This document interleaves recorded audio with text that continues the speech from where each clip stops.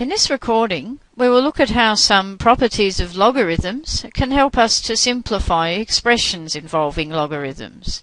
First, let's talk about what we mean by a logarithm. And a common notation is log subscript a x.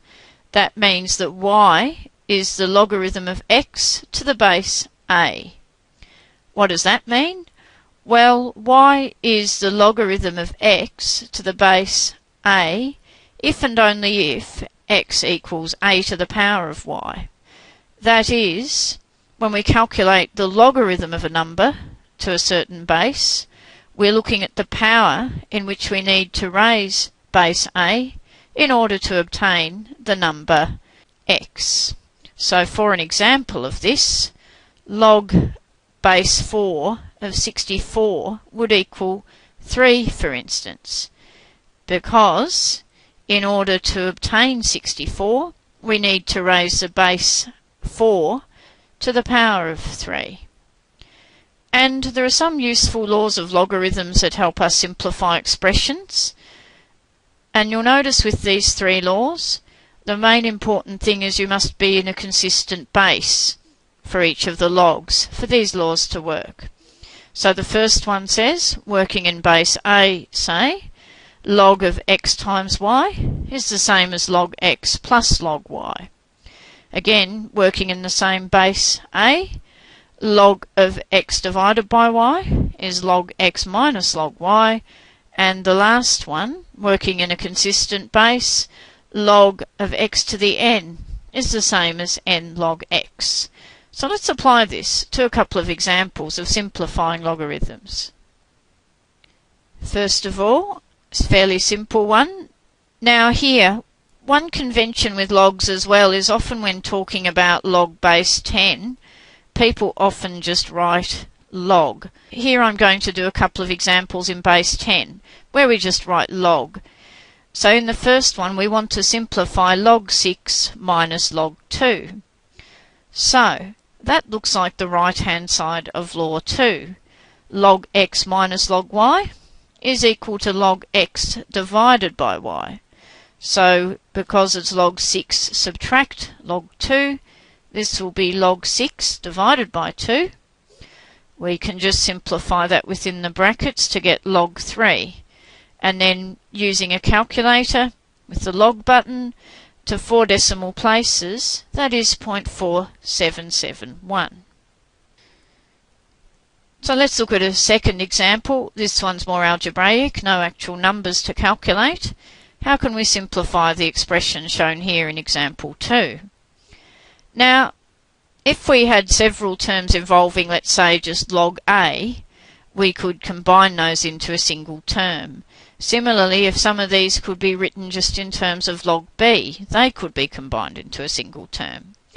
So looking at the first one, log a squared, that reminds us of law 3, that log of a to the n is n log a.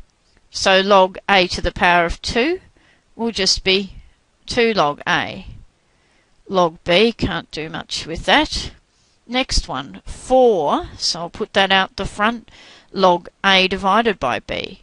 That was the second law, that log of a divided by b is the same as log a minus log b. So that's multiplied by the 4.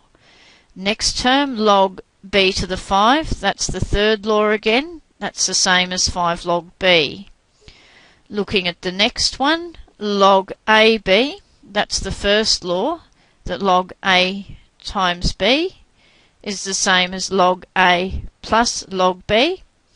And the last one, log of the square root of B. What is the square root as a power?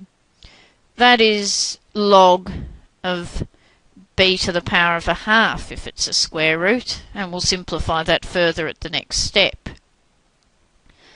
So, what have we got? 2 log a minus log b that 4, we can multiply out those brackets now, so that'll become plus 4 log A minus 4 log B plus 5 log B stays the same plus log A plus log b, and that log b to the half, again because that's b to the power of a half, that'll be the same as a half log b.